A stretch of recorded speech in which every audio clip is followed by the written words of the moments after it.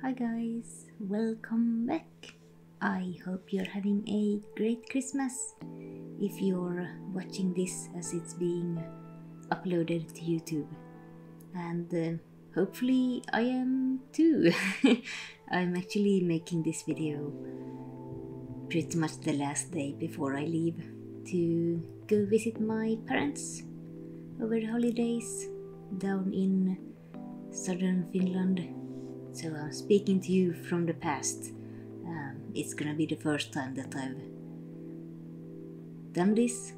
Um, this being recording a week beforehand and then scheduling the video to come up. So I'm I'm hoping it works out.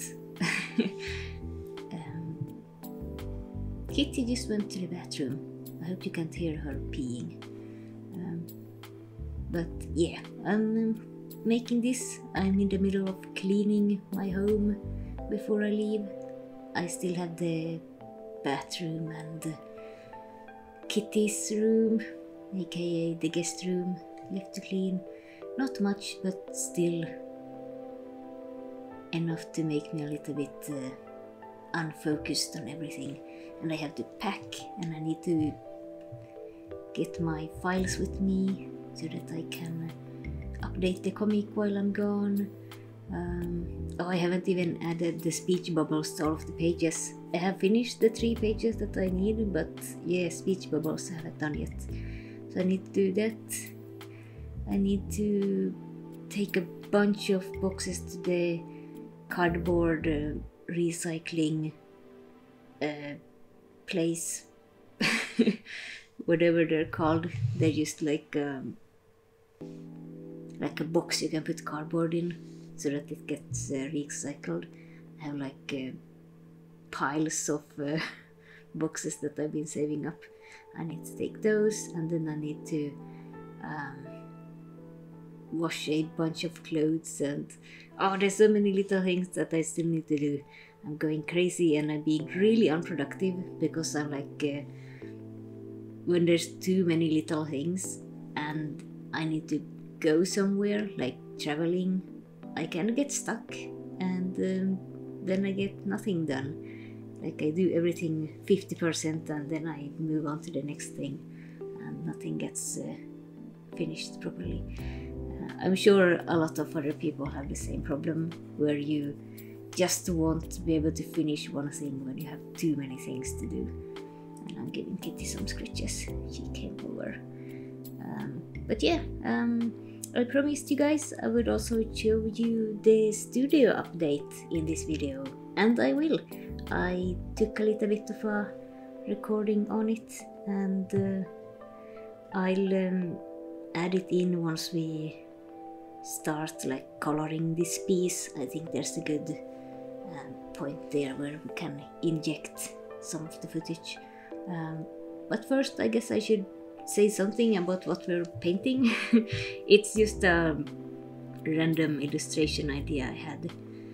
Lalli and Emil, for some reason, being in this really unrealistically broken building with some sort of uh, uh, troll monster climbing up after them. And I wanted a slightly or a almost isometric top down um, perspective and just uh, have it looking a little bit platform-ish in the sense that you have like a close-up um, foreground which we are coloring in right now very dark and then like the middle ground where they are and then like the third level where the monster is uh, crawling towards them. And yeah it was just for fun. Uh, took um, few hours to do uh, line arts first and then watercolors. The way I like to do my cleaner watercolor paintings. But yeah let's uh, let's go take a look at the studio before we continue the rest of the colors. Alright I'll see you guys uh, soon. Okay guys I promised a studio tour or a studio update, not a tour, not uh, not before it's finished. But uh, here we go. Wee! Ta-da! no, this is the this is the back room. Um, for those of you who don't know, my studio space that I bought used to be a bank office. Um, back when banks had offices and everything wasn't done online. so this is what uh, that was the back room, and it is my um, workspace. Um, I saw things here, which is why there is sawdust and saws and disassembled old furniture. Uh, I've taken like I had like this big stack of garbage here, like this kind of stuff that I took to the dump, and I couldn't fit more in my car, and I need to take one more trip to fit these and these and other little stuff. But uh, let's get into the actual studio. You can see the floor that I put in. This is the old floor. And here we go. Eee! Oh, I removed the door frame, so it's very pretty. Uh, and there's the old door. But yeah, this is the studio as it is right now. Um, this right here is going to be like a lounging space. I'm gonna put a sofa right there, which is what that uh, line is. It's just tape, masking tape. People are shouting outside. Oh well.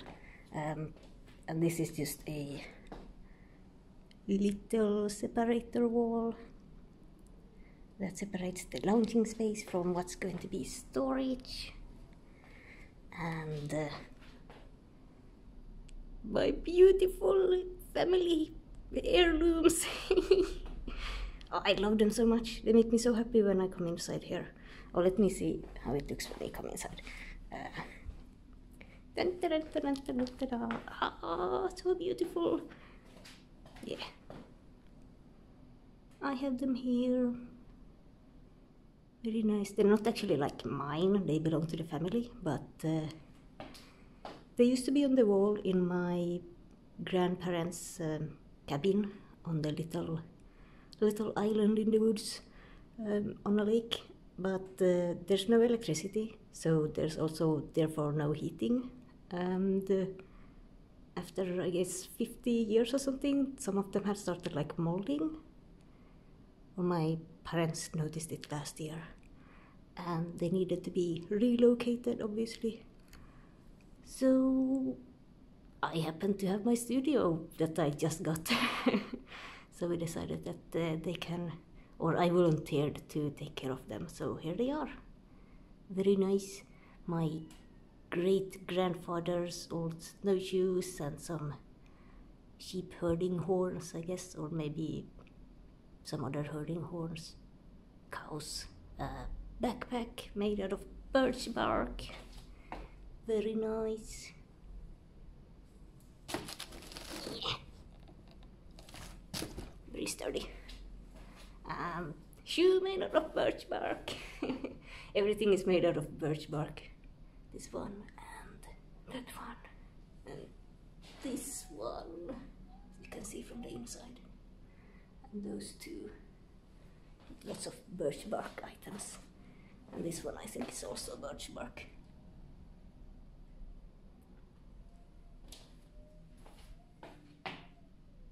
I do not understand what that noise is.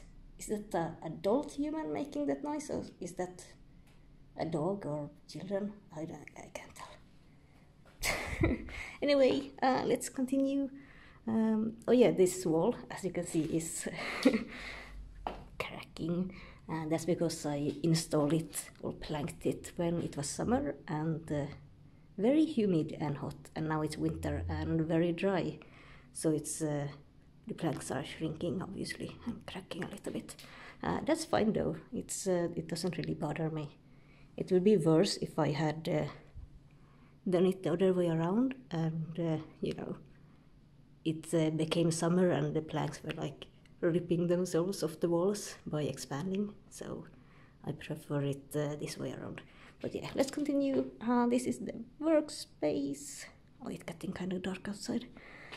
uh, I'm gonna have a computer over here.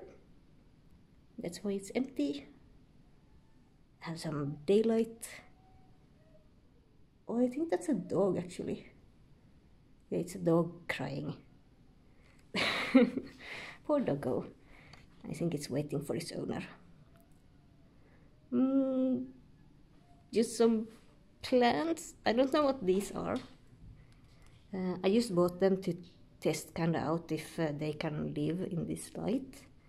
And they can. It's been like three months at least. Um, there's only like three hours of daylight this time of the year, so they're doing fine. They're green and fine. Um, and they live, I think I paid like five euros for them at like the hardware store. Um, I guess I'm keeping them until they die. This one I'm hoping to grow so that it can become like a pretty vine uh, that can crawl over the wall or something. Uh, then I have we, our actual like painting space. Let's back up a little bit. Um, I have these boxes that I'm painting blue on the inside, white on the outside. Uh, that I'm gonna have like stuff in, like painting materials, uh, measuring tape, eraser, and uh, whatever that's called. But yeah, I'm gonna put them on the wall. Like right now, they're stacked there. So I'm gonna attach them to the wall right there. And that's gonna be my storage space. And also, I need somewhere to put my palettes and paints and stuff. What's going on with this guy? he's supposed to be in one of those little holes, but he's kind of fallen out. Uh, that's fine. Um, this I built. It's a little shelf, I guess. And then I have those. Uh, over here is like a.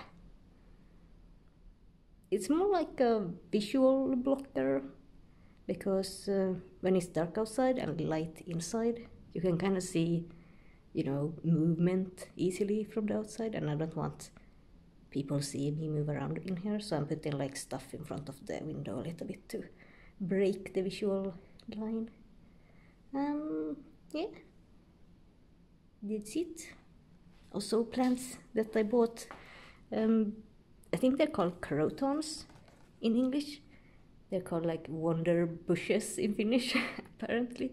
Um, these cost 190 per piece because I got them right before the Christmas um, season started, as far as plants go. So these were like getting sold away as uh, you know last year's stock to make room for Christmas flowers, and uh, they were like not doing so well. Then just wrapped up in plastic and they had a bunch of rotting leaves.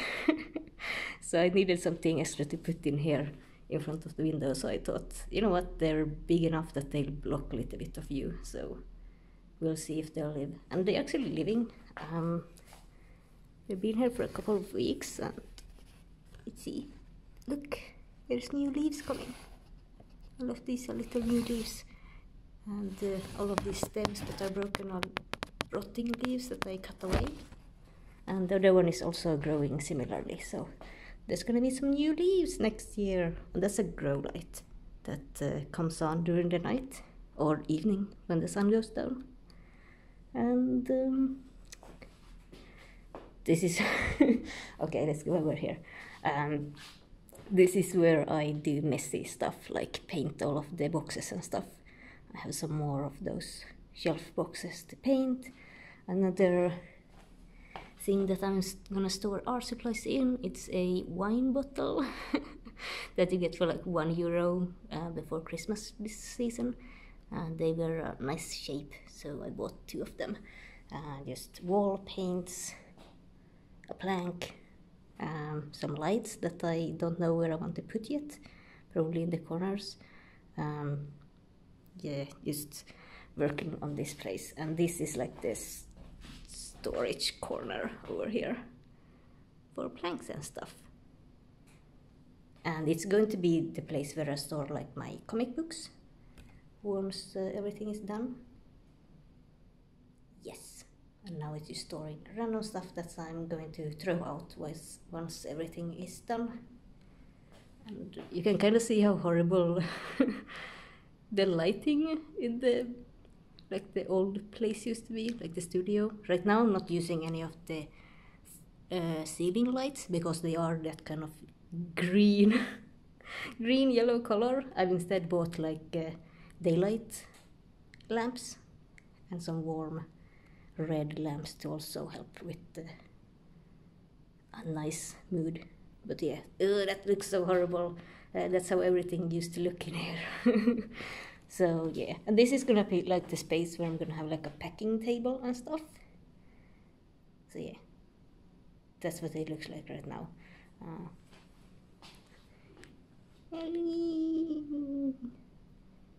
I'm pretty happy with it. Not that. I'm gonna put something there. Um, but yeah, that's the update. Hope you guys enjoyed it.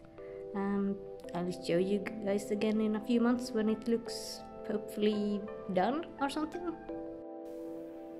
Alright, I hope you guys uh, enjoyed that little look. And uh, for those of you who don't know, um, getting a studio outside of my home was one of my main life goals for this year.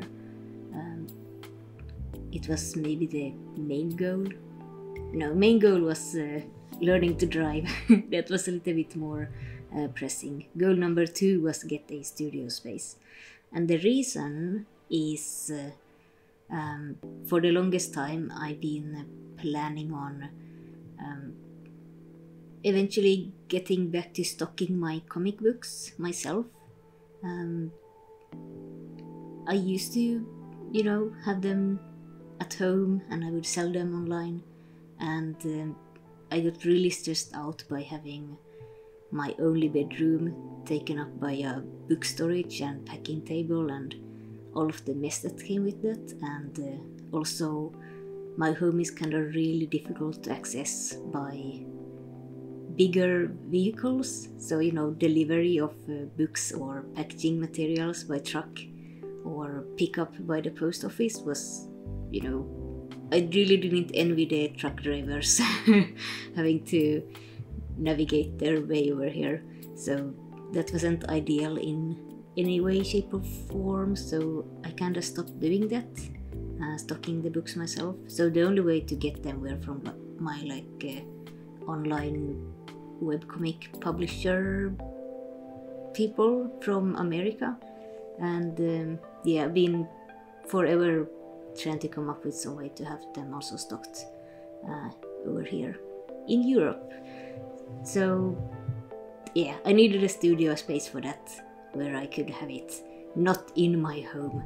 And this year I decided that it's time. I need to print book three soon, and I can't do it without. Uh, uh, having the space for it and uh, everything. So I was really lucky. I found a great space um, in my price range that I was able to afford it and uh, like it's the exact size that I need and it's the first first floor so you know getting packages out and in won't be a hassle um, and you know it's accessible to the door by a truck and uh, all the kind of little things that I needed that were a problem uh, with my home storage situation. So yeah, that's that's the reason for a studio. Like obviously I'm using it uh, for painting also. Like that's the secondary reason, uh, or more like a bonus. Me being able to use use it as a proper painting studio because I don't want to do it at home. Um, I for some reason I I'm really afraid of uh, getting paint on my furniture. so I only do digital digital art at home. So yeah, that's uh, like a bonus that I have like one side of the studio where I can do this kind of painting, and the rest of the space is going to be just for comic storage and uh, packing space eventually. But uh, that's next year's plan. This year was get the studio, next year get the comics. That's uh, honestly, I'm going to start with getting book three. I mentioned this in the live streams um, on Twitch every now and then when people ask that I'm going to print book three in the spring. That's like my one main uh, goal for next year, and have it like a regular old old pre-order for it. And um, then if I have the energy and time, book printing obviously takes several months. Uh, then I'll try to get some restock of book one and two. Um, but we'll see. You never know how long things take. So it could be that it's just book three next year, and uh, then book one and two reprints in the year after it. But uh, yeah, we'll see. Either way, it's gonna be book time. but um, yeah, I that's all I really had for this video. I'm gonna get back to cleaning my bathroom and all the other things that I can't even remember what I needed to do. My mom is coming tomorrow. I need things to be decently done before she comes because then I'm gonna be even extra frazzled and won't remember anything. Um, but yeah. Oh, enjoy the peeling of the tape. It's finished. Um, yeah, I'll see you guys next week. I'll be back. Um, normal streams will be back on when I'm uh, home again and everything will be normal. Um, oh, I'm so stressed out. I hate schedule changes and routine differences. Holidays are so so tiring, but uh, at least I will greatly enjoy being back to work and normal routines uh, in a week. And uh, yeah, I'll see you then. Thanks for watching and bye bye.